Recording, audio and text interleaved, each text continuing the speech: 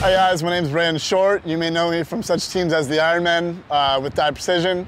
We're out here in beautiful San Diego, California. Today, my goal is to answer a few of your questions and uh, let you know a little bit more about myself, the Ironmen, Dye, and paintball in general. So uh, let's do this. Right, first question is from uh, Josh Wolf out of Oakland, California. Josh asked me, Brandon, who is your favorite paintball player?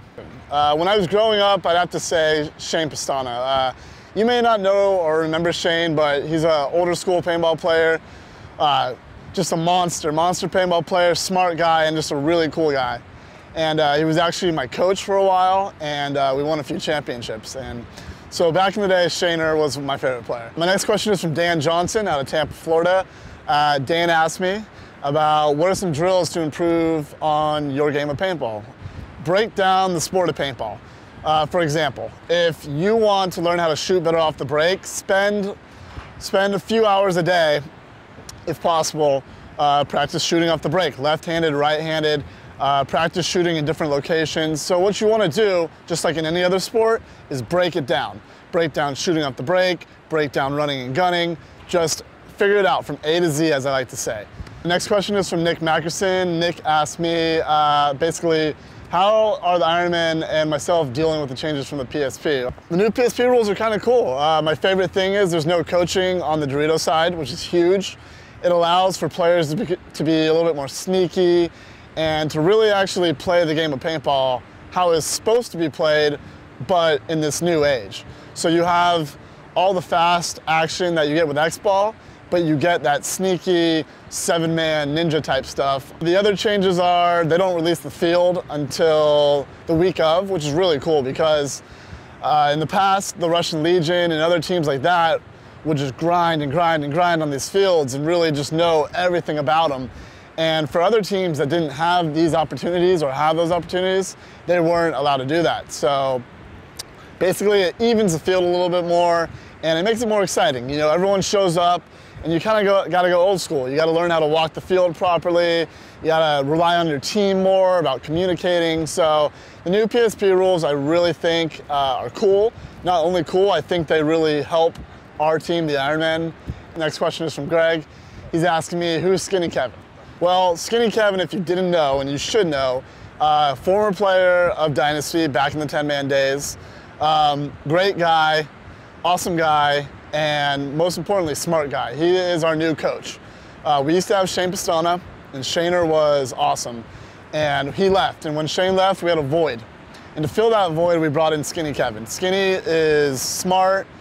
Uh, he's not going to sit there and yell at you and tell you what you did wrong and did, uh, did right. He's really just going to point things out, point you in the right direction, and basically give you the encouragement and a little bit of knowledge to guide you to win these paintball tournaments. Uh, Skinny has pretty much won, traveled, done everything there is in paintball. He's basically conquering the world and hopefully a little bit his, of his knowledge rubs off on me and more importantly, our little guys like Kyle Spicka because he needs help a lot. Next question is from John Gregg. John asked me if I could play any other sport, what sport would it be? Well, I love all sports. I love football, basketball, baseball, uh, especially love watching basketball, but if I had to choose, I think I would choose tennis because overall it's a, uh, it's a great sport. It's a one-on-one sport typically, and it really gets to show off your, uh, your skills as an individual. And I just like the whole aspect of it all. It's very classy. They have tournaments all over the world. There's a ranking system. I mean, how cool would it be if you could say that you were the number one or number two paintball player in the world? Well, there's tennis players out there that can say they're in the top 10. So, Greg, that's something I really like. And uh, so tennis, tennis is my answer.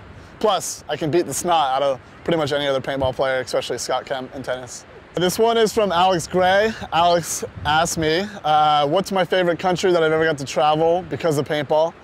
Uh, well, Alex, let's see. I've been to a few countries, and um, hard to say. I think, tell you the truth, my favorite country in the world is South Africa. Um, of course, I haven't been to every single one, but South Africa is an awesome place. It's, it's one of these things where when you're there, you feel like you're actually in a different part of the world. You really get that idea that you are uh, kind of lost, you know, and it's just a really cool experience. I got to learn a lot, see a lot, and just get cultural, you know, learn about a cultural culture that basically is so different from my own. And um, not to mention it's beautiful. There's Cape Town, that's awesome. Johannesburg. Um, yeah, South Africa was a real eye, eye and uh, I really enjoyed it. So uh, Alex, I hope that answers your question. South Africa. Well, everybody, thank you for all the questions. Hopefully I answered them. And uh, if you have any more, please um, visit dyeprecision.com. Find myself on uh, Facebook, Twitter, and uh, I'll be more than happy and we'll be more than happy to answer them. Hopefully we see you at a paintball field real soon. Signing off, Brandon Short. Thank you guys.